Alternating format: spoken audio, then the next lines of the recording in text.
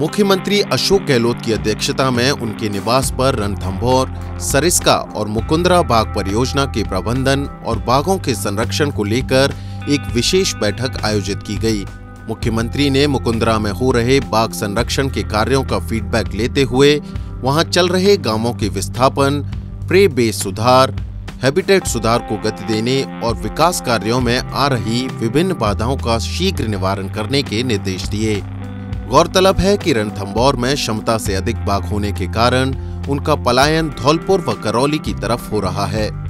ऐसे में मुख्यमंत्री ने इन बाघों एवं उनके शावकों की सुरक्षा के लिए ज़रूरी प्रबंध करने के निर्देश दिए। बैठक के दौरान मुख्यमंत्री गहलोत ने कहा कि राज्य सरकार बाघों के संरक्षण को लेकर गंभीर है और सरकार की सकारात्मक नीतियों के कारण बाघों की संख्या में लगातार वृद्धि हो रही है। साथ ही उन्होंने कहा कि सरकार द्वारा प्रोजेक्ट टाइगर और इको टूरिज़्म नीति के प्रभावी क्रियान्वयन का ही नतीजा है कि रणथंबौर में दुनिया भर से आने वाले पर्यटकों की संख्या में तेज़ी से इजाफा हो रहा है।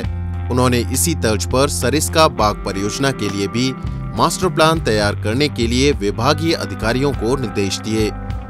हाल ही में सरिस्का के जंगलों में लगी आग पर काबू पाने के लिए किए गए प्रयासों की भी मुख्यमंत्री ने बैठक में सराहना की। उन्होंने कहा कि विभाग द्वारा तत्परता से उठाए गए कदमों के कारण ही कई वन्य जीवों की जान बची और आगजनी से होने वाले नुकसान से पर्यावरण को बचाया जा सका।